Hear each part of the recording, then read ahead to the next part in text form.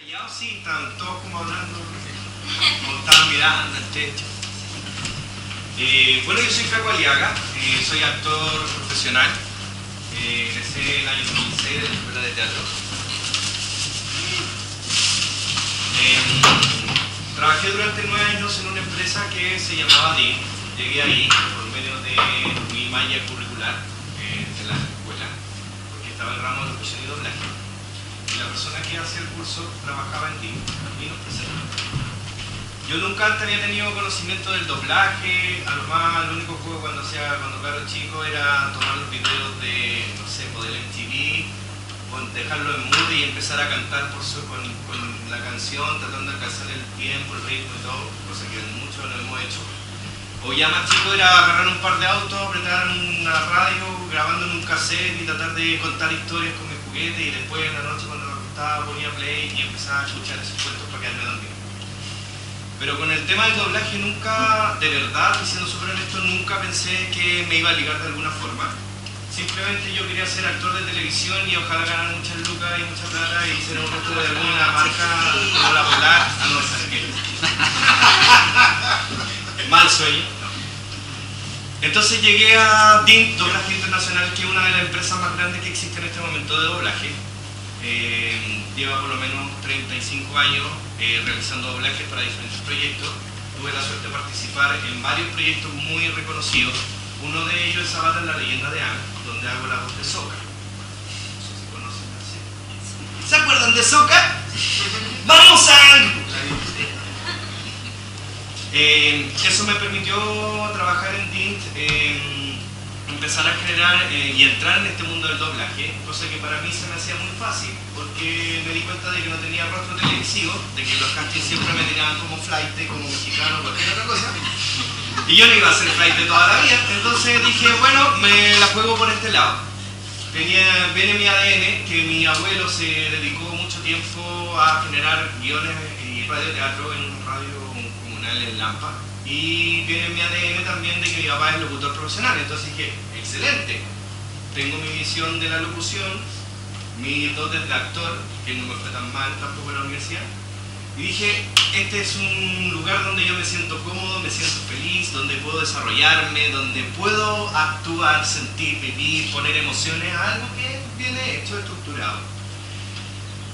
Tiempo después pasaron tres años, cuatro años, eh, y empecé a sentir de que estaba metido como una especie de confort, donde eh, ir a grabarse volvían entre frases redichas e redichas, que la frase que decía de Peter era la misma que decía John en el capítulo anterior, entonces me sentía que mi trabajo como actor de doblaje no estaba evolucionando.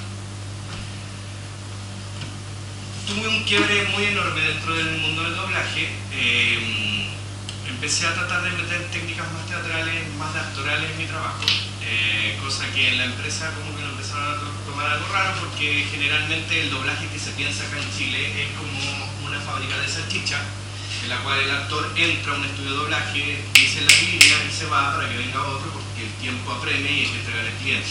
Y se estaba perdiendo lo que para mí la esencia del doblaje tiene, que es emocionar. Una de las cosas más importantes cuando uno hace doblaje no es simplemente tomar una frase y decirle al ritmo que tiene el personaje en el idioma original, sino que yo por medio de mis emociones lograr transmitir y ser súper coherente a lo que está proponiendo el director, el actor, la escena, y con mis emociones, en mi versión, en español latino, español chileno o español que sea, interpretar eso.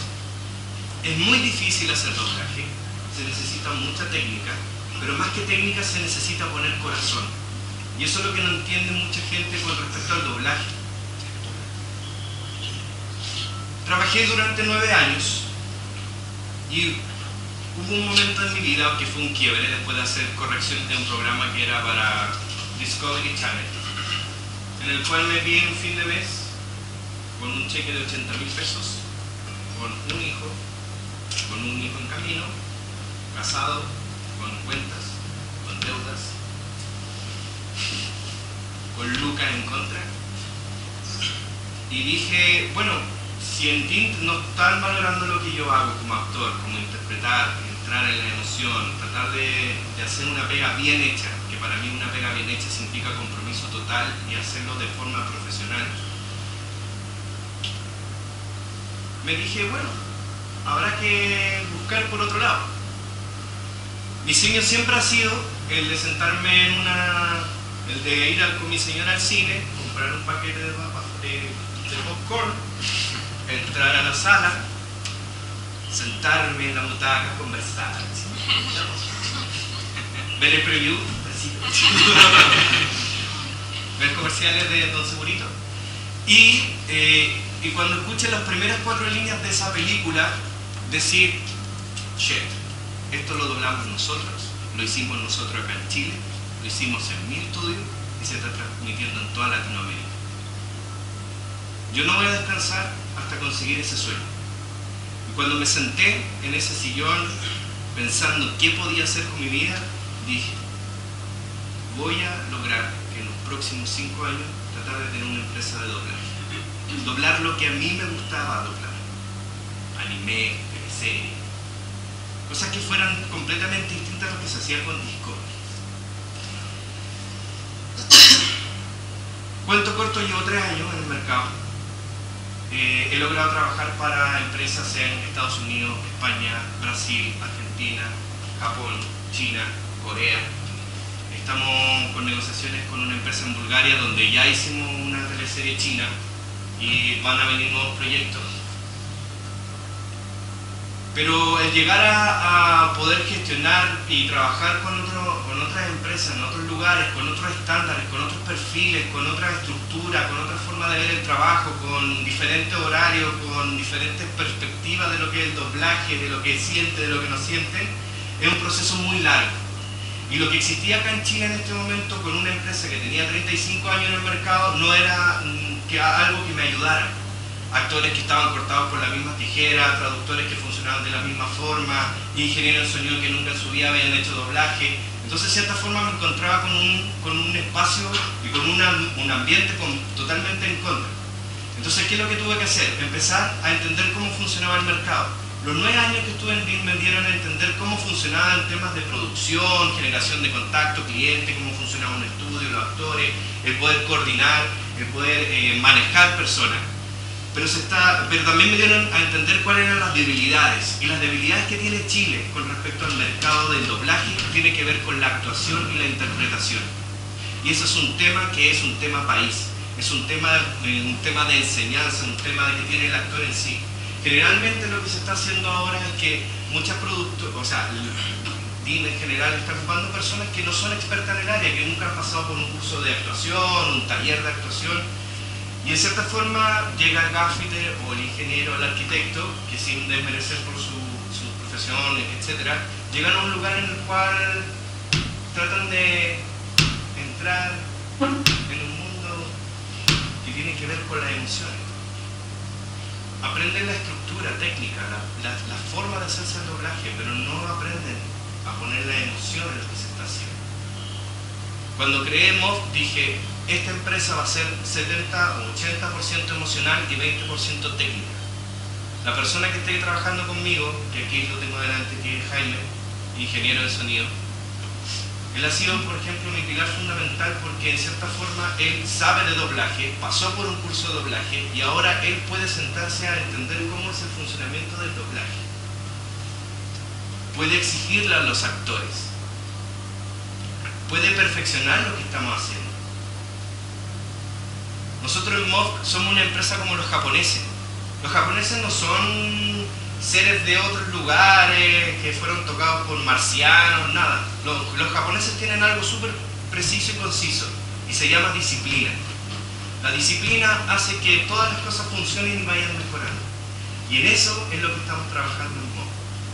Eso nos ha permitido poder en tres años hacernos conocidos dentro de empresas como Jaimine, que es una empresa multinacional que se encuentra en Inglaterra con base en Grecia y que se dedica a localizar contenidos por todo el mundo Trabajamos a la par con estudios en Brasil, con estudios en Estados Unidos, con estudios en España, con estudios en Italia, con estudios en Turquía. Y trabajamos bajo los mismos términos y las mismas eh, características técnicas. Y estamos a la par incluso mucho mejor en temas de, de interpretación de nuestro trabajo con respecto a otros productores. Nuestra competencia directa, claro, puede ser BINT. ¿Por qué no? Porque estamos acá en Chile Pero nuestra competencia directa para nosotros son los mexicanos, los padres del doblaje, que gracias a ellos nosotros conocemos de qué se trata esto, que gracias a ellos lograron perfeccionar un arte, porque en el fondo esto es un arte, que nos permite poder entender lo que más amamos, la televisión, nuestras series, los contenidos en nuestro idioma, emocionarnos con algo que está hecho en ruso. Y eso es gracias a esta industria. Chile en general no tiene una industria. No hay nada que uno pueda decir, sí, Chile tiene una industria del doblaje. Chile no tiene industria. Estamos en pañales. Hay una empresa que tiene 30 años, sí, pero no sabemos nada de doblaje. Los argentinos durante los últimos 5 años han crecido exponencialmente. Antes tenían 3 estudios de grabación, ahora deben ser alrededor de 15. Los venezolanos han crecido también enormemente. ¿Por qué? Porque se han dedicado durante todo su tiempo a poder generar... ¡Bienvenida! a poder generar proyectos de, de, doblaje de calidad, pero también está pasando que Latinoamérica en general está, está con esta necesidad imperiosa de empezar a gestionar productos de calidad. Ya lo vimos con el tema de la animación, o sea, ya tuvimos un Oscar gracias a una animación chilena. Esos chicos de Van yo los conozco hace cinco años atrás, cuando empezaron el proyecto. Y créeme que ha sido un sacrificio enorme para poder lograr hacer lo que lograron ellos. En este momento el doblaje, si bien está en pañales, es un buen cometido para nosotros. ¿Por qué? Porque ya conocemos las deficiencias del mercado, ya conocemos cuáles son las cosas buenas que tiene el mercado y eso a nosotros nos permite tener una visión un poquito más amplia de lo que podemos hacer. Ya conocemos cómo funcionan los mexicanos, su trabajo dentro del doblaje, o sea, deben tener más de 200 voces profesionales. Pero no son 200 voces profesionales porque tomaron un curso y se metieron a grabar, sino porque son años de experiencia, años de estar en tabla trabajando, años de estar actuando, de estar viviendo y sintiendo. Y ellos lo ponen al servicio del doblaje. Y eso es lo que nos falta a nosotros. Tener gente que sea específicamente dedicada a nuestra área. Ahora les voy a mostrar un video que dura tres minutos, no más que eso, de lo que estamos trabajando y estamos ya entregando a... Ah, es algo que estamos haciendo, teleserie, esta teleserie china se llama eh, The Way We Were, 16 Summers, y en español quedó como 16 veranos. La gente que trabaja aquí, la mayoría, la mayoría son actores han llegado a la productora, lo hemos formado, lo hemos guiado, hemos metido ahí manos para tratar de sacar lo mejor posible y esto es lo que llevamos haciendo hasta este momento.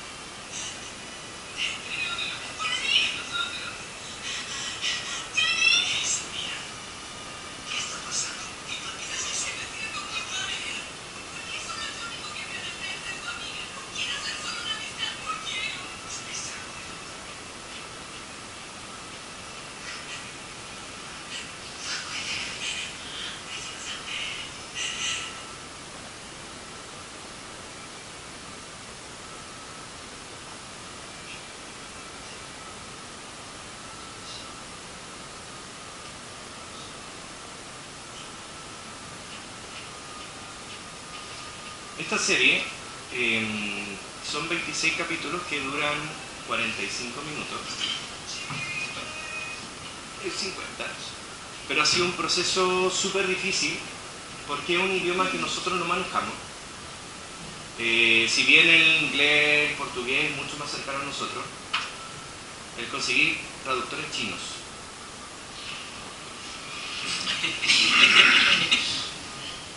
y que trabajen en doblaje muy difícil. Y eso significó que las personas que estuvieran dentro del proyecto había que capacitarlas, había que instruirlas, había que involucrarlas, había que hacerlas partícipe de algo que era completamente ajeno. Y en el fondo lo que nos permitió finalmente es poder hacer de que este cliente que pertenece a una empresa en Bulgaria, pero el cliente real es el gobierno de China, terminara felicitándonos por el trabajo. Si no hubiéramos sido disciplinados, si no hubiéramos puesto la cabeza para solucionar las cosas, más que quejándonos del problema, quizá hubiéramos llegado al capítulo 5. Esto nos abrió la ventana de poder generar otros clientes en otro lado, con otras condiciones, con otras estructuras, con otras formas. Pero sigo insistiendo, el doblaje que nosotros realizamos en Chile, sí, hay un sonido particular de una empresa particular. Y a nosotros también nos conviene. Yo siempre he dicho, yo al mercado no le voy a entregar un Mercedes-Benz si hay un Mercedes-Benz. Para mí, Bing entrega un Mercedes-Benz. Yo tengo que entregar un Volvo. Quizás el mismo tipo de auto, mismas características, que son completamente diferentes. Y siempre uno tiene que estar buscando eso, la diferenciación. ¿Cómo yo me puedo diferenciar del resto? Porque eso me hace único. Hace que el cliente tome y diga, wow, ¿por qué son diferentes? ¿Tienen dos manos, cuatro piernas, ocho orejas? No. Simplemente porque buscamos soluciones diferentes. Mob ha tenido ese pensamiento desde un principio, solucionar las cosas, preocuparnos siempre de globalizar nuestro contenido, de que sea más accesible. Somos jóvenes, yo tengo 33 años, él no sé cuánto, está lo mismo. Pero en el fondo lo que estamos buscando es la innovación, la frescura, a un mercado que en Chile está cayendo. Si bien tenemos turcas todos los días, gracias que haya trabajo, eso no nos está ayudando a nosotros a mejorar, nos está haciendo entrar en una línea estándar. Entonces los problemas que tenemos, no hay traductores de chino, imagínate me manden algo en mandarín, he hecho conexión en la India y en la India deben tener por lo menos 27 lenguas distintas para un proyecto. Entonces el mercado no te entrega tampoco soluciones. Nos hemos encontrado con personas que estudian doblaje que no están bien preparadas tampoco, porque en los lugares que se preparan tampoco está pensado con una visión de, de que esa persona finalmente logre entrar, incluso hasta de una forma personal, a un mercado globalizado. El modelo de doblaje eh, que existe es parsimonioso, eh, parsimonioso. parsimonioso. Eh, yo siempre lo he dicho como el doblaje chileno suena muy shakespeariano, muy declamatorio. Hola, ¿cómo estás? Hola, mi amor. Mira, vi. Cuando en realidad lo que uno busca es la naturalidad. Mientras más cercano, más emocional, mayor impacto. Entonces eso es lo que estamos buscando, ese sonido diferenciador, esa naturalidad. Se trabaja de otra forma. No es que nosotros tengamos, no sé, cámaras hiperbáricas para los actores, para que su humedad y su... No, simplemente ocupamos nuestros recursos de diferentes formas, con otra estructura, de otra organización y con los actores pensando de que aquí vienen a jugar, a pasarlo bien, que no es algo estresante, acá vienen a crear, vienen a vivir la vida de otro, que a lo mejor no lo podrán hacer en el teatro o en la televisión como en mi caso, porque sería siempre el flight. Pero acá sí pueden generar un personaje nuevo, con una vida única y que hable en nuestro idioma. Y lo que también pretendemos como, como empresa es empezar a acercar contenido asiático. El contenido asiático en este momento es uno de los que para mí me llama mucho la atención, sobre todo, sobre todo con series de anime, con las teleseries chinas, las coreanas, etcétera, etcétera. ¿Por qué? Porque es un mercado muy atractivo. Bollywood, la India, tiene un mercado que es exponencialmente mucho mayor al mercado en Estados Unidos. Si Estados Unidos hace una película, en Bollywood se están haciendo siete. Nosotros estuvimos hablando con la embajada de la India y encontraron que, de hecho, le habíamos propuesto hacer una plataforma de distribución de contenido, de contenido de la India, en español latino, en una página web, donde cada persona podía ver películas de Bollywood por medio de internet. Encontraron fascinante la, la idea. ¿Qué faltó? El amigo en persona. El impacto que tiene el doblaje en Latinoamérica es muy enorme. Ya se vio con la serie de Big Bang Theory. Que todo el mundo está diciendo, pero ¿por qué la doblaron si a mí me gusta en inglés? ¿Por qué? Si es mi serie favorita, la veo. Ok. Pero también tenemos que pensar que el doblaje produce acceso. Hay muchas personas que tienen problemas de analfabetismo, tienen problemas de dislexia. ¿Cómo acercamos esos contenidos a esas personas? El doblaje nuestra estructura social en una, una estructura longeva. ¿Cómo le hacemos entender a la abuelita Rosa que vive en Temuco, en un poblado allá, que la persona se llama, hola, soy Vicky, vengo acá a ayudarte? Gracias al doblaje. ¿Cómo los niños ahora aprenden lenguaje, palabras nuevas? Gracias al doblaje. Porque el doblaje permite, en cierta forma, manejar un lenguaje estándar internacional donde todo el mundo entiende.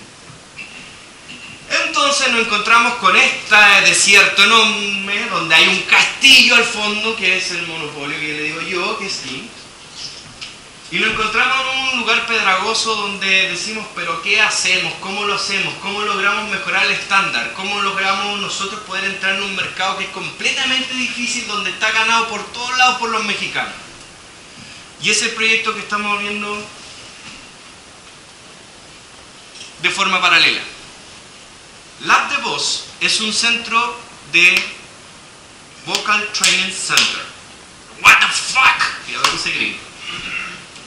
Es un centro en el cual te entrega workshops específicos, por ejemplo, de doblaje, de locución comercial, de audiolibros, de voice acting, todo lo que tenga que ver ligado con la voz y con el entretenimiento. Entonces, ¿cuál es la idea? ¿Cuál es la idea? La idea es súper simple. La idea es empezar a perfeccionar el mercado y las posibles personas que puedan desarrollar el mercado. Pero no como la estructura simple de decir, ok, estudia doblaje y ponte adelante y repite como mono. No. La idea es que sea algo académico, algo que la gente, la persona que vaya para allá a tomar un curso, sea súper simple. Aprenda línea eh, emocional de un personaje, línea psicológica, análisis audiovisual, vocalización, dicción, naturalidad, olvidar las viejas escuelas de la impostación, la declamatoria y acercarlo mucho más a la naturalidad. Permitirle que dentro de esta estructura puedan también hacer locución comercial y puedan desarrollarse también en otras áreas. Que puedan hacer voice acting, pero que no sea también solamente como un servicio propio, sino que también estén a la mano de otras eh, áreas creativas como el mundo de la animación que necesitan personas que sepan hacer voice acting, que sepan crear con su voz, que sepan dar eh, personificación, caracterización vocal, que puedan crear mundos, personajes. Pero también hay que prepararlo.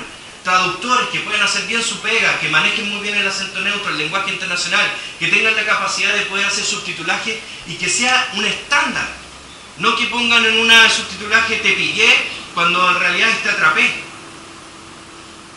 locución comercial, que aprendan acento neutro, que aprendan a hacer locuciones y pelear casting en Argentina, en México, en Colombia, en Venezuela, en Perú, en Estados Unidos.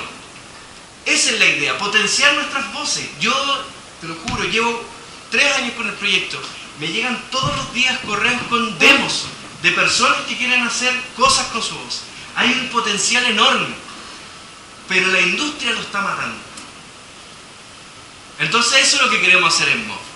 Perfeccionar el doblaje, convertirnos el próximo año en una empresa que digan, ¿dónde se va a doblar en Chile? En MOV.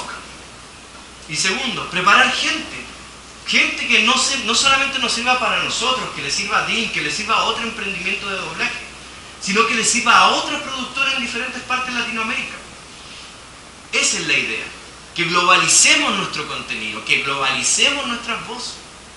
Las oportunidades están afuera. Sabemos que en Chile el mercado es súper reducido. Llevamos escuchando los mismos locutores. Fernando Solís lo llevo escuchando, tengo 33 años. Cuando me di cuenta que existía la radio por los 5, por lo menos 27 años. ¿Y por qué no? Si yo, hay más voces que pueden ser igual, incluso mejor. ¿Pero por qué? Porque no existen las oportunidades.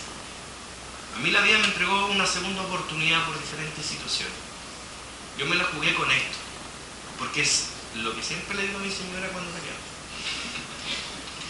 Esto es lo único que sé hacer. Y si lo voy a hacer, lo voy a hacer. Yo quiero hacer buen doblaje. No quiero hacer doblaje, quiero hacer muy buen doblaje. Yo quiero que si tú tienes una empresa de animación, tu proyecto de animación conquiste el mercado. Y para eso yo voy a poner los mejores elementos, las mejores voces, el mejor director que sepa sacar lo mejor de, cada uno de ellos para que tu producto conquiste el mercado. Porque si te va bien a ti, nos va bien a nosotros. Y eso es lo que hay que pensar. Si uno crea un proyecto creativo, sea cual fuere, uno siempre tiene que estar pensando no solo en el beneficio de uno. Sí, yo soy tengo una empresa, sí, no, no, no. Los chiquillos vinieron para acá, hicieron su proyecto y les fue la raja. Si a ellos les va bien, nosotros acá faltamos una pata. Y siempre, siempre vamos a estar buscando la mejor solución para cada cliente. Hemos entendido que así como personas hay, clientes hay. Tratamos de ser,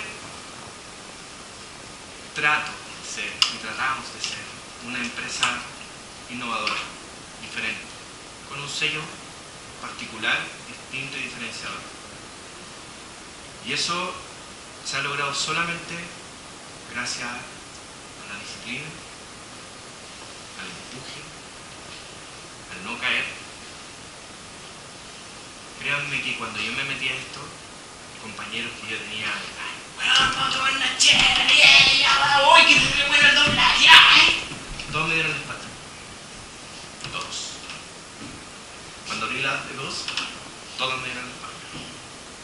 Me trataron de ladrón, me trataron de maricón, de un don nadie, que nunca iba a conseguir nada, que no iba a ser capaz, tú, Caco le haga, de armar una productora que haga doblaje, nunca vas a competir con nosotros, nunca lo vas a hacer. Aquí estoy extraño. Dos estudios de grabación, una sala de mezcla, tratando de armar otra sala más de grabación, con contactos afuera y siguiendo. Y mi sueño está ahí, en la sala de cine. Y está rudo, aquí estamos parados. Yo les vengo a mostrar esto, no como forma de vanagloriarme ni nada, sino para decirles que se puede. Yo estoy en el camino y se puede. Y el doblaje necesita este aire. Y las personas que estamos involucrados, ya sea como usuario o como dentro, tenemos que tener el criterio y la exigencia necesaria para que nuestra industria pueda nacer, nazca recta y podamos exigir buen doblaje. Y si tienen un sueño, por muy loco como el mío, ¿qué huevón más se le va a ocurrir hacer una empresa de doblaje? No la desechen, luchen. Yo todo lo he pagado con mi bolsillo. Nunca he pedido crédito, nunca he pedido plata prestada. Traté siempre de no tener deuda. Todo lo que he implementado en mi estudio de grabación ha sido con mi bolsillo con ahorro, aprender a a cuadrar, a pagarle a la gente cuando corresponde, aunque no paguen los clientes. Tener caja chica, que en el concepto de la industria como que no existe la caja chica. Es como, ojalá que paguen la factura luego. Hacer profesional. Nosotros estamos siendo profesionales en algo que es un oficio. Y pueden haber 100 escuelas de doblaje, pero va a seguir siendo un oficio mientras nosotros sigamos siendo mediocres. Así que los dejo invitados para que sigan adelante con su sueño.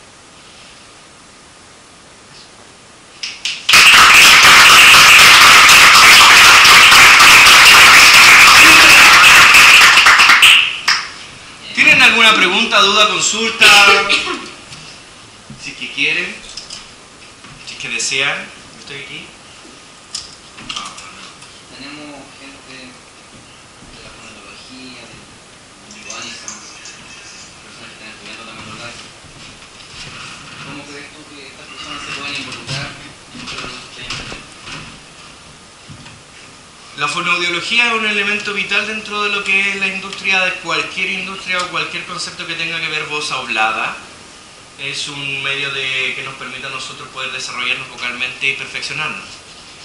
Los que son anisón también. ¿Por qué? Porque de cierta forma también se empieza a crear otra pequeña industria, muy pequeña, pero que también va en crecida, que son todos los temas de lo que hacía el Capitán Memo. Los openings, los endings de la serie, las canciones. Cuando yo hablé con los chinos les dije, oye, ¿puedo hacer esta canción en versión español? Sería muy bueno, pegaría mucho acá. Pero el problema que tenía es, ¿quién? Ahora ten- tendría quién. Lo que necesitamos es empezar a armar redes. Lo que necesitamos, lo que estamos nosotros en doblaje, créanme, lo que somos en doblaje, los que ustedes están viendo, es muy reducido el mundo. Nos vamos a volver a ver cientos de veces. Tenemos que ayudarnos.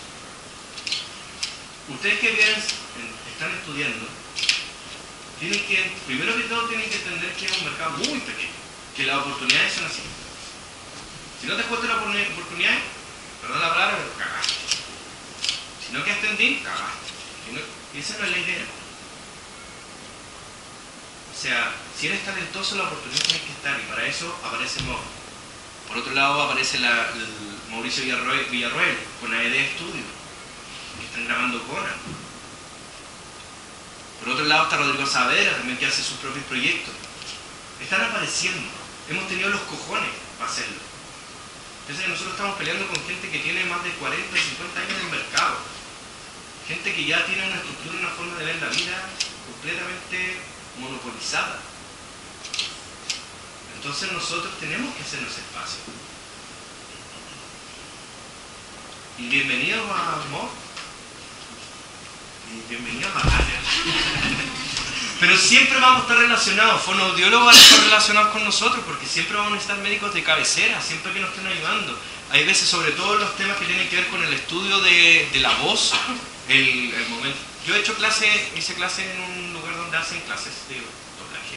También me pasó lo mismo, mandé, con el último grupo que hice, tomé el manual así como que hay que seguir para que sean actores de doblaje en poco tiempo. Lo rompí y dije, propongamos otra cosa Y siempre hablaba con esa persona y decía, oye, debería tener un fonoaudiólogo, debería tener un fonoaudiólogo, debería tener dos fonoaudiólogos, debería tener... ¿Por qué? Porque generalmente las personas cuando uno entra a hacer algo vocal, y se lo digo como actor, tiende a hacer malos ejercicios, eh, empiezan a dañarse vocalmente, empiezan a tener lesiones y al final terminan con su voz hecha pedazos 10 años después. El jengibre siempre ayuda. puede ayudar. Pero generalmente eh, la medicina tiene que estar involucrada en todo lo que es el aspecto vocal. La fonoaudiología es vital con nosotros. Para mí como actor de doblaje también. ¿Por qué? Porque también me permite conocer más tonalidades, me permite descubrir internamente cómo funciona mi voz, cómo yo puedo desarrollarla sin tener que relacionarme. Y si lo, lo más importante, darle una longevidad a mi carrera. En Estados Unidos hay lugares, centros, donde te ponen fonoaudiólogos de cabecera cuando tú haces un workshop. Estados Unidos es uno de los lugares que ha evolucionado enormemente. Tienen talleres para todo. Tú haces un taller de locución y ya, ok, básico. Después toma el avanzado. Después toma el experto. Después, oye, ¿sabes que me fue tan bien que tengo un casting para hacer Toyota en Estados Unidos? Se ponen a un coach al lado. Trae el texto, te ayudamos, vamos, vamos, vamos, trabaja, trabaja. Acá en Chile, mándame una cuestión en MP3 y arte que hay. po". Y va el cabro y graba su, su audio, que lo graba con el perro ladrando en el fondo, con la micro. Ah, total, si quedó quiero, total, no importa. No hay nivel de profesión en nada. Si te vas a meter en un área, puta, primero, conoce de qué se trata. Y segundo, ser más profesional. Eso, es- el tema. En Chile somos muy flojos. Muy y eso tiene que cambiar y nosotros somos jóvenes y podemos cambiar. Y siempre es necesario el. ¿Pregunta? ¿Duda? Estoy aquí, aprovechenme. Dígame, dos cosas. una. Entre paréntesis de que te transmitimos en vivo como por 40 segundos por nuestra página de Vox.com y todavía tienes que citar y dar una vida.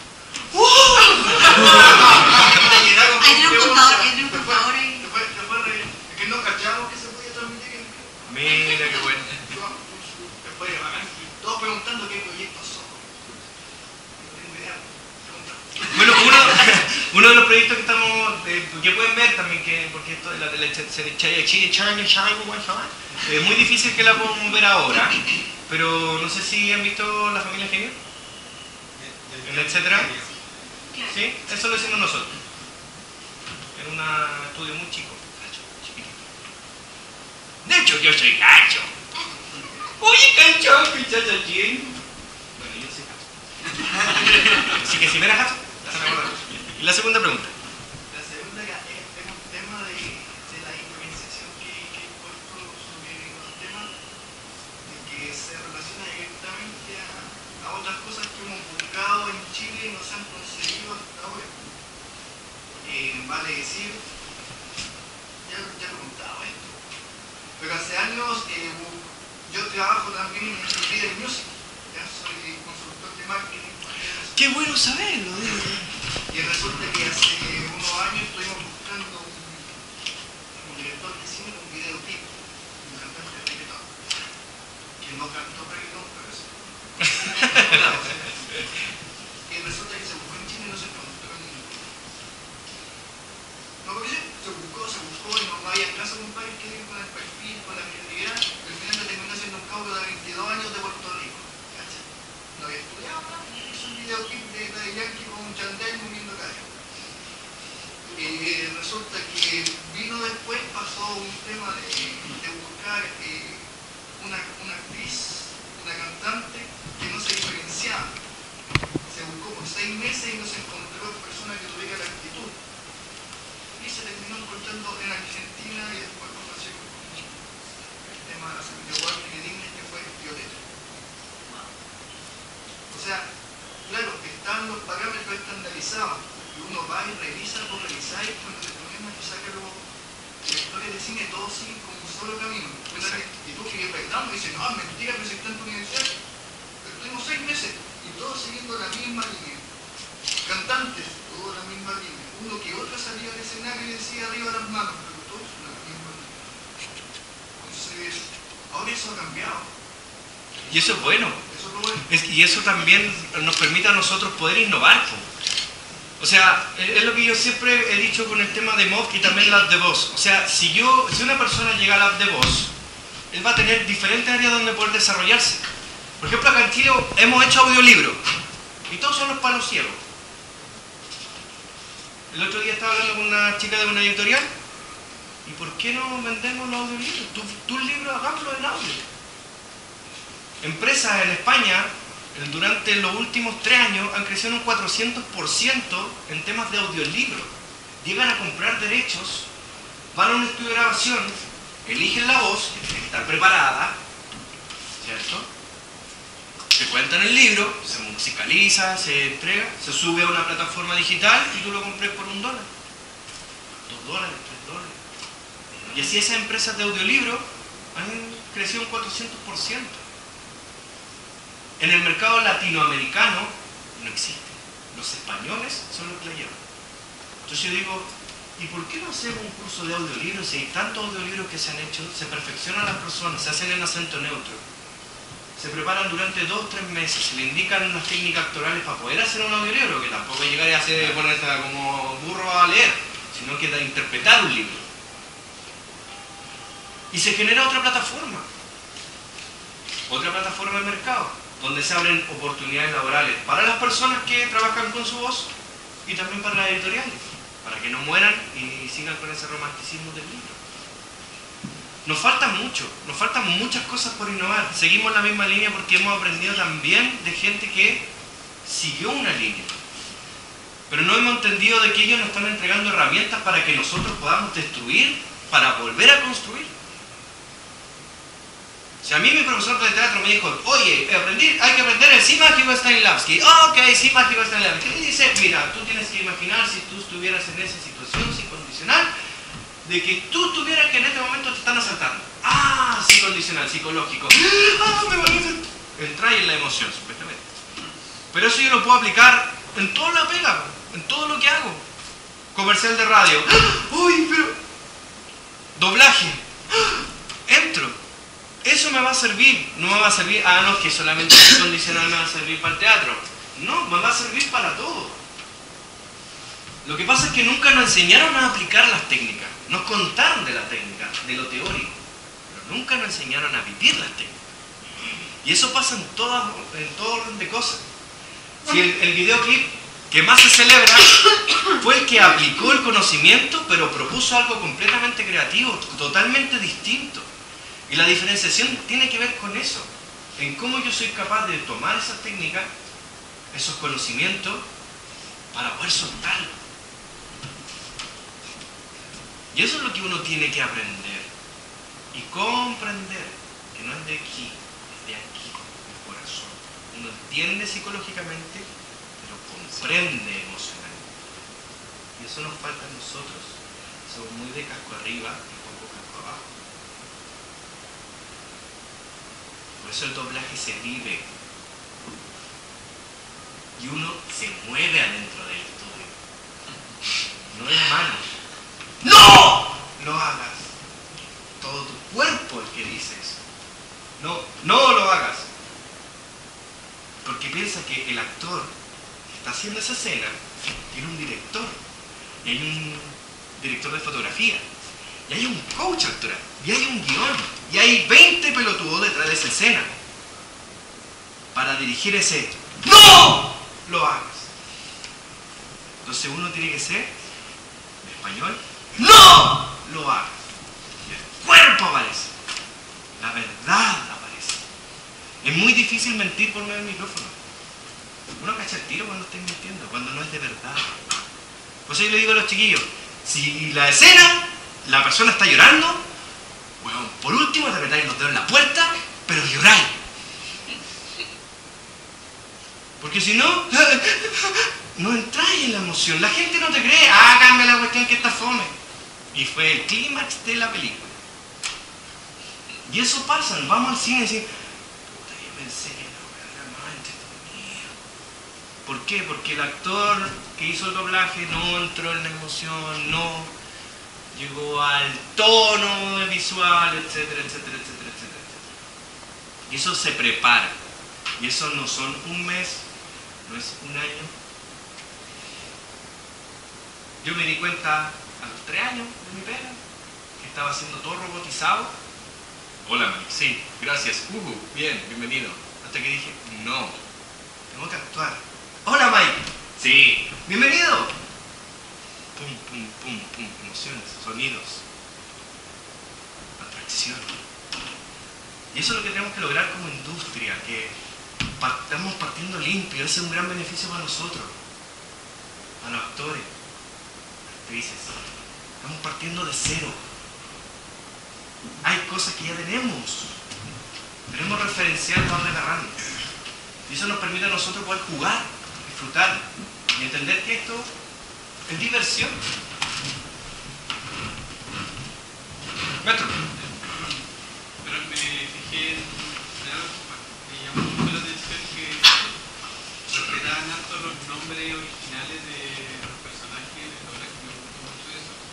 Que al menos hasta en los años 90, yo me acuerdo cuando había X-Men, me gustaba la serie, me, gustaba igual pero los nombres se los cambiaban a todos, fueron unos nombres nada que ver, Wolverine era Guipardo, y cuando hicieron en el cine, Wolverine le decían el nombre de traducción que era Glotón, y es nada peor.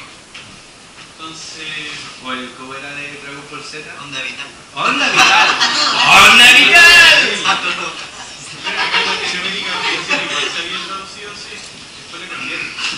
Onda del acierto, o sea, y después lo cambiaron a aquí Kamehameha. Pero antiguamente no se respetaba nada, o sea, era como... Lo que pasa es que cuando hubo un tiempo que las traducciones trataron de como hacerlas más identificables. Entonces Wolverine lo tradu- todos los nombres de personajes realmente sí- lo que se hacía era traducirlo al español para poder acercarlo más a la gente. Porque nadie está como, ¡Chizuko! Nadie dice, oye, ¿Chizuko dame un cuarto de, de mortadela? No. Se producía una lejanía. Pero cuando nosotros tomamos la serie del chino, lo primero que dijimos, nombres como son. ¿Cómo se dice? Wang Yunji. ¿Cómo se dice? Wang Yunji. Bueno, pero ¿por qué no le pusieron Juan? Wang Yunji. ¿Cómo se llama? Fan Weite. ¿Cómo se llama? Tanjani. Porque así se llaman. Yo no puedo estar inventando algo que no es. Y ahí viene lo que nosotros hacemos, que es respetar el original. Lo respetamos. No, a nosotros nos interesa de que se mantenga eso. ¿Por qué? Porque una de las cosas también primordiales que tiene la cultura asiática es que están exportando su cultura. Eso es lo que hacen. Es muy difícil que yo vaya a Japón, por ejemplo, y le diga, oiga, Mitsuko Sakituko, vengo a comprar los derechos de su serie anime.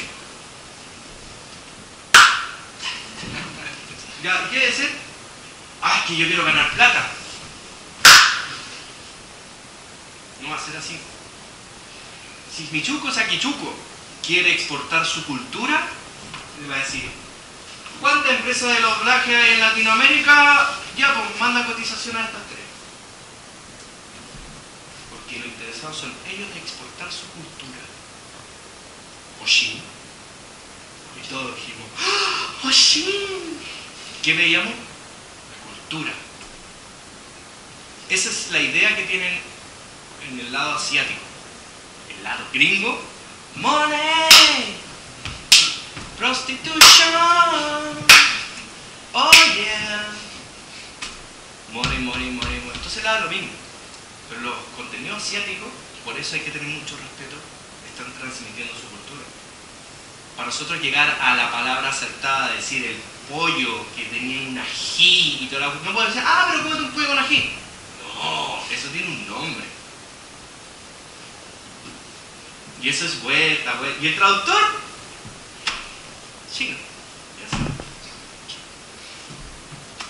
Entonces es todo un tema que uno tiene que ir desarrollando y siempre ir respetando lo que propones. Pues nosotros hemos trabajado para Jaime Millian.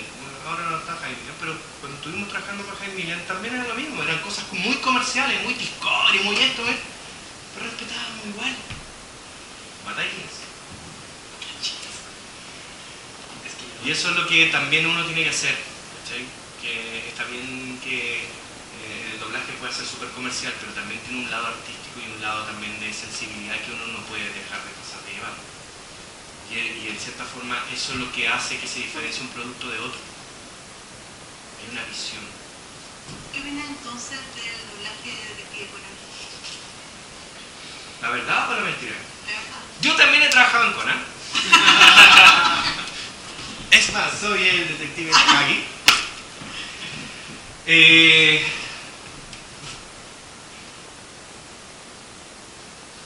se pueden mejorar muchas cosas, pero es tampoco porque la industria que tenemos eh, es- está recién empezando a balbucear. Entonces eso hace que, de que en cierta forma los productos finales que nosotros vayamos desarrollando estén en pañales. Yo siento que Conan tenido igual un despegue enorme. Eh, siento que se ha desarrollado e involucrado gente que tampoco era como muy eh, con muchos años de doblaje, pero sin embargo se empiezan a desarrollar, a crear este espacio, se empiezan a conocer otras voces, empieza a haber una, una apertura.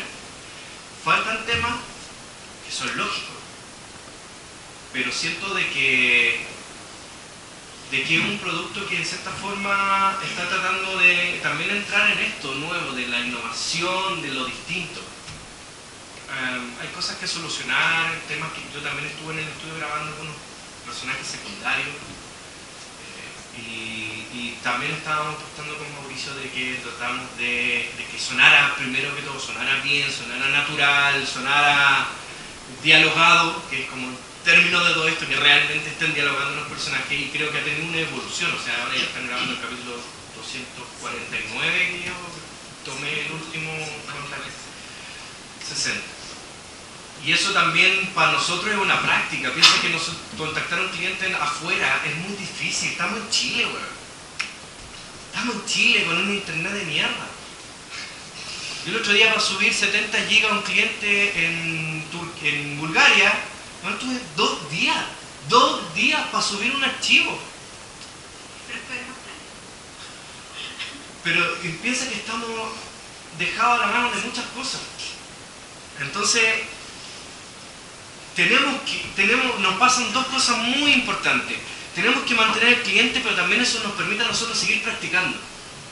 Porque claro, hacer demos en la casa o en el estudio es súper, pues hagamos demos, ya, pero no tenemos un referencial internacional que nos digan, oye, están haciendo una cosa bien bacana, una cosa mal. Entonces se, conjugan dos cosas, que chuta, tenemos que ir aprendiendo y practicando en el camino y también tenemos que estar dando una respuesta que está de los lados. Entonces en el fondo estamos haciendo lo mejor y creo que con han avanzado desde el primer capítulo hasta lo, desde lo que agarró Mauricio, hasta el capítulo 260 ha mejorado, se ha notado que hay una evolución, que ha mejorado, que hay, un, que hay una evolución en el doblaje. Ahora, claro, la diferenciación entre Mauricio y yo, que claro, yo soy más disciplinado, hay, otras, hay otros elementos, yo soy muy, exigente, demasiado exigente, ya a ser eh, paranoico de la exigencia. ¿Por qué? Porque en cierta forma mi visión es una Ahora, que hay compromiso entre todos, nos apoyamos, nos ayudamos. Oye, pásame el capítulo acá, yo te ayudo, ya, graba, ya, tráeme esto, tráeme esto otro. Y hemos tratado de generar un lazo de confianza también. O sea, tampoco podemos estar peleando solos. Es que este es mío, es que este es mío. No. O sea, estamos compitiendo para afuera y más encima peleando con otro monopolio. O sea, somos los jugos naturales contra Coca-Cola. Tenemos que ayudarnos. Y obviamente las críticas tienen que ser súper constructivas, súper en pro de ayudar. Yo he visto gente que ha hecho comentarios como usuarios, como, como, personas que ven la serie, han hecho mierda la serie. Y es como, ah, estamos tratando de hacer lo mejor. ¿Cachai? Y obviamente se produce eso porque tenemos ese desfase de estar peleando, partiendo de la nada. Y en esa parada estamos. En esa parada queremos crecer, de verdad queremos crecer, queremos ser una industria competitiva. Una industria que realmente uno diga, puta que bueno el doblaje chileno, puta que bueno. ¿Dónde lo mandamos a hablar? A Chile, bo. México, no, a Chile. Mándalo para allá. Negocio asegurado. Eso es lo que queremos. Y eso va a permitir que toda esta industria crezca, que todos tengamos fuentes laborales, que todos tengamos pega, que podamos desarrollarnos felices que hayan traductores específicos para cada cosa. Pero hay que formarlos también. Y hay que el mercado chileno nos prefiera también. Mira, en general, yo cuando partí la productora, nunca pensé en el mercado chileno. No, pero para partir como educando lo que ya está. O sea, sí, pero es muy difícil eh, educar a clientes en este momento aquí en Chile. O sea, si están pensando siempre en recortar recursos para generar un proyecto, es muy difícil. O sea, hacer una, un producto de calidad de doblaje, no, los, los valores reales, es muy difícil que un cliente los pueda pagar acá. ¿Cachai? En el encuentro pasado, el, el en Manuel, eh, tocamos el tema del doblaje. Y diciendo que obviamente los videojuegos son la industria que está creciendo, sobre todo el desarrollo.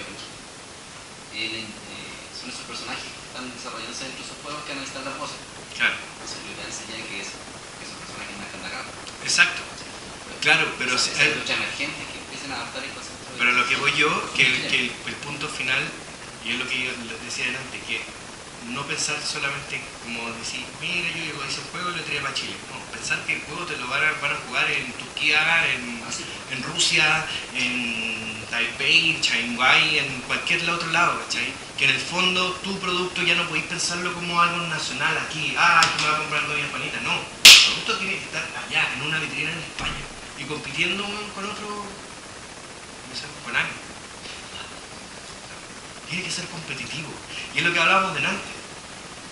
Quizás yo puedo tener dos estudios y una sala de mezcla. Dean tiene 16 estudios de grabación, 6 de mezcla. Sí, wow. Pero en internet somos igual. Ellos tienen su página web y yo tengo mi página web. Somos igual. Entonces, ante eso, podí luchar, podí salir adelante, podí... Yo mandé mi primer correo, me acuerdo,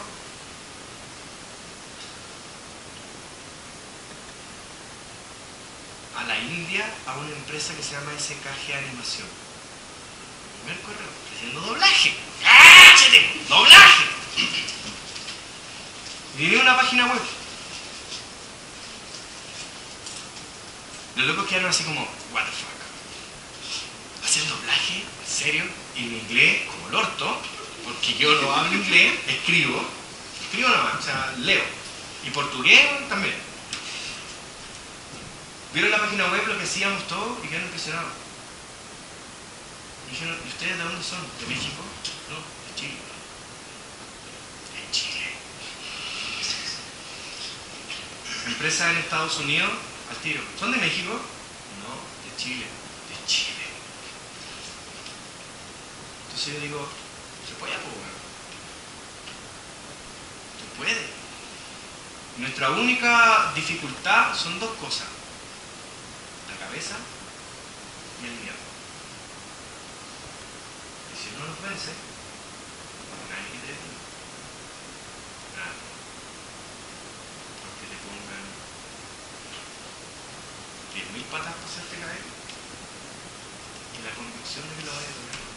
Mi sueño, la sala del fondo. Así que, ¿Qué opinas de, de ahora de Hielo 5? Iba a preguntar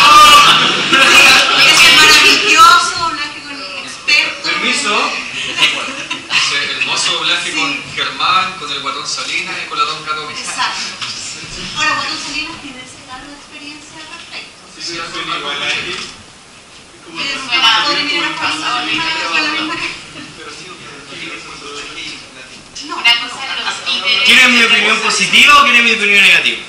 Todo, O mi opinión. todo, todo. Mira, quería preguntar lo mismo, se me había olvidado. El tema de los Star Talent, que nuestra versión es bastante criolla, porque la Star Talent allá en Estados Unidos, como, como es el concepto, no sé, pues te ponen a Rihanna, weón, a hacer un personaje. Rihanna, weón, Rihanna. Eh, aquí suceden dos cosas súper importantes. Primero, el cliente. Cuando uno trabaja con un cliente, si el cliente dice, oye, ¿sabes que yo quiero poner a ese huevón? Ahí. Pero hay que poner. Esa es la primera condición. O sea, si estáis trabajando para la Fantasy Center Fox, es lo que el cliente te pide. Uno como empresa ofrece servicio. Uno lo puede asesorar, si mira, ok, sí, lo podemos hacer. Ese es un plan. El segundo plano es un bodrio. ¿Qué es un bodrio? Es algo que realmente todo lo que se ha logrado, incluso hasta con las turcas, que se han vendido, aunque ustedes lo crean, se han vendido en diferentes partes de Latinoamérica, etcétera, etcétera, con eso lo, las mataron. Pero fue un error principal, el error más importante, que no prepararon a la gente que iba a hacer la pega. Ese es el tema. Independiente que el Guadón Salinas pueda hacer esto o esto otro, no lo prepararon. Y tiene que ver con ese tiempo extra que la empresa no hizo, que el resultado final fue lo que vimos nosotros en el training. ¿Y qué hizo la empresa después? ¡Ah! ¡Hay que meterle un curso de doblaje! ¡Hay que meterle un curso de doblaje! Yo siempre digo, mejor prevenir, po. Si yo hubiera tenido esa posibilidad, me dicen, oye, ahí tenía al Germán no sé cuántito, a este otro también, cabrón, tengo una reunión, no, una semana, dos semanas, tres semanas, cuatro semanas de esa si idea de ganar 5 millones de pesos, 6 millones de pesos, mínimo, saque el trote. es el tema. Es un tema que no existe eso. Y es lo que estamos nosotros haciendo. La concientización, la preparación, que la gente se prepare. Ahora, charcha. Yo conozco mucha gente, actores que son secos, secos, que yo he admirado mucho y que hubieran sacado trotes, pero son decisiones del cliente y malas acciones del.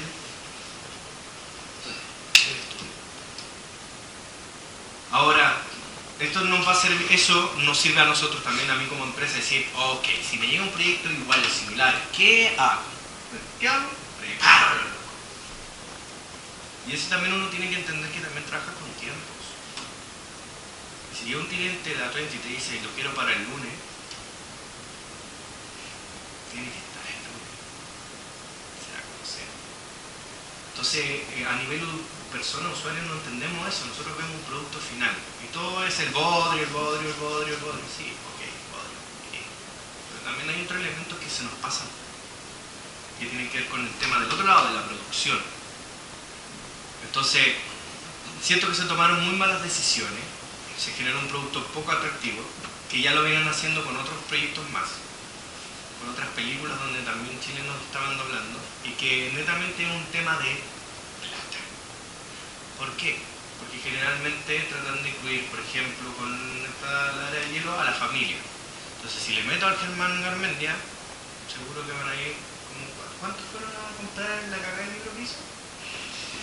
¿Cuánto? ¿Cuántos fueron a la firma de autógrafo? ¿Ah? ¿Ah? ¿Ah? ¿Ah? Busquen. Entonces, esos mismos van a ir a ver la película. ¿Y qué es lo que hace la gente? Vienen a asegurar. Parece una mierda. Pero dicen, ¡ay, el Germán hizo la voz del bueno! ¿De cuándo? ¡Ay, Germán, Germán, Germán, Germán! Es lo mismo. Pongo a la Britney Spears a hacer una película y van a la Britney Spears. Independiente de la película. Entonces son técnicas de mercado. Se hicieron malas, mal, se desarrolló mal en el fondo. Y se viene desarrollando mal. Dale, pasita, amigo. Pero también nosotros como usuarios tenemos que exigir, así como lo hicieron en México y lo han hecho en otras partes del mundo, de exigir productos de calidad. Y nosotros acá en Chile tenemos que exigir que haya doblaje de calidad. Tenemos que exigirlo, como actor y como usuario y como productor y como todo. No solamente fue el tema que, claro, el doblaje es asqueroso, pero aparte de eso, el audio es como que hubiese sido grabado en la casa y como, toma, ahí está mi, mi parte. Faltaba el perrito de fondo, así. Es que ese es un tema, eh, un tema también de que es lo que me, por ejemplo, uno de, las- de los problemas que tengo yo, que yo no puedo contratar cualquier ingeniero en sonido. No puedo. Porque el ingeniero en sonido que comúnmente sale, sale para banda. ¡Ah, me con rápido! Ese ingeniero sale. Pero no un ingeniero que me diga, no, yo tuve doblaje 1, doblaje 2, doblaje 3 en la universidad. No existe. Entonces, él lo sabe. Dispárale, dispárale. Ahí va. ¿Puedo hacer puedo hacer una pregunta? Dígame. Sobre el tema del todo, ¿cómo funciona? ¿Se le, se le pregunta al consumidor de repente qué es lo que quiere? ¿O, o vais como linkar entre el cliente y la...? Mira, uno de los proyectos que queremos tener más adelante con Mob.cl y con Lab de Voz es generar otro proyecto más en paralelo, porque eh, se llama, eh, bueno, en cierta forma de distribuir contenido. Sea, lo que doblamos nosotros, distribuirlo en una plataforma. Pero generalmente, una, por ejemplo, yo soy, ya, caso X, yo soy Jaime de una empresa que, no, hola Ya, yo soy Hola TV. Soy una empresa que tiene un canal que se ve en diferentes partes de la- de Latinoamérica y yo soy un canal. Entonces dijo, ¡oh! Me falta programación. Entonces voy a una feria que se llama MIPCOM. A MIPCOM, que queda allá en Francia, en Cannes. Hola, Chulito, ¿sabes que quiero comprar contenido sobre salud? Ah, yo tengo este paquete. Listo, va a otro lado. Oiga, quiero comprar de medicina. Va, y así. Va, bonito, amigo. Llegan de nuevo a Hola TV, al lugar donde ellos están, y dicen, chuta, compramos contenido. Oh, pero esto está en inglés, esto está en francés, esto está en alemán, esto está así, esto está... Bueno, ¿qué es lo que queremos nosotros? Tenemos un canal en Latinoamérica, tenemos que doblarlo. Así funciona. Hay cosas que son atractivas, por ejemplo, X-Men la serie. Van a querer muchos comprar X-Men la serie. Y ahí se manejan de acuerdo a licencia. Ahora, generalmente existe, mm, generalmente no se hace una encuesta. Los Simpsons no se hizo una encuesta para tirar los Simpsons. Es como que la chuntaron. Y eso es lo que tiene el negocio del contenido. Hola, soy Germán y un contenido. Y le pegó el palo al gato haciendo ese tipo de contenido. Y hay otras producciones que tienen 45 millones de dólares y quedaron en la sexta temporada, o sea, en el capítulo 6. Y ahí, ¿cómo tú cachai? Es, muy difícil saber qué es lo que va a querer la gente. Lo que sí estamos cachando ahora como, como generación de contenido son dos cosas importantes. El YouTube, contenidos de YouTube, y segundo, se está empezando a aparecer el contenido asiático. Y empezaron a meter ahí en Vía X, empezaron a meter en una teleserie, después, etcétera, agarró, empezó a retomar la serie antigua, y empezamos a cachar de que, uy, está funcionando, está funcionando. Y empieza de nuevo todo este tema, que también ocurrió antiguamente con Robotech y toda esta otra onda. y- entonces, va- vais cachando de que el mercado va funcionando, y ahí uno donde uno empieza a ofrecer. Hay momentos que yo me he visto ofreciendo mi servicio a Estados Unidos porque voy cachando de que viene el reality, el docu-reality, que la cuestión, que son, ellos son expertos. O ahora que me estoy tirando para el lado asiático diciendo, oye, sí, ¿por qué? Porque viene harta teleserie, hay harta gente que está más conectada, los jóvenes ahora que son consumidores, que ya están conectados más a celulares, los ñoños con Luca, pero sin gatos. Eh, en el fondo están, ya también están absorbiendo otro contenido. ¿Por qué? Porque el contenido que existe aburre los animadores también están haciendo otras cosas, entonces en el fondo te vas dando cuenta de que se va cambiando el mercado y se va cambiando también por otras, eh, por sistemas sociales, hay guerra, etcétera, entonces vais cachando que no hay un estudio de, consumidor, es porque simplemente los mercados se van moviendo y ahí uno tiene que estar atento. Muchas gracias.